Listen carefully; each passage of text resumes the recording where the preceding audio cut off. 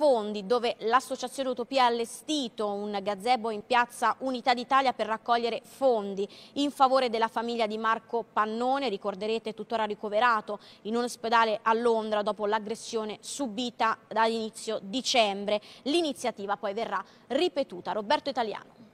L'allestimento di un gazebo in piazza Unità d'Italia nei pressi del castello a Fondi è stato un successo. I giovani dell'associazione Utopia hanno voluto così organizzare una giornata dedicata alla solidarietà per sostenere la famiglia di Marco Pannone, il giovane ricoverato in un ospedale di Londra dopo essere stato aggredito la notte tra il 2 e il 3 dicembre scorsi. Questa iniziativa si è affiancata a quella della Proloco nella raccolta denaro.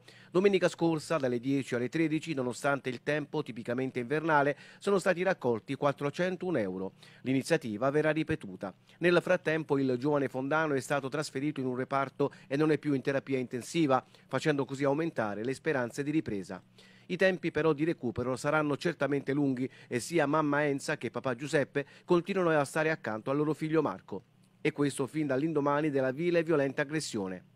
Intanto la Proloco ha aperto i salvadanai collocati in alcuni stand del MOF e attività del centro città di Fondi. Il presidente Gaetano Orticelli ha provveduto ad effettuare un quinto bonifico di 1.880 euro in favore di Marco Pannone e dei suoi familiari e la somma totale raccolta arriva così a 11.844 euro.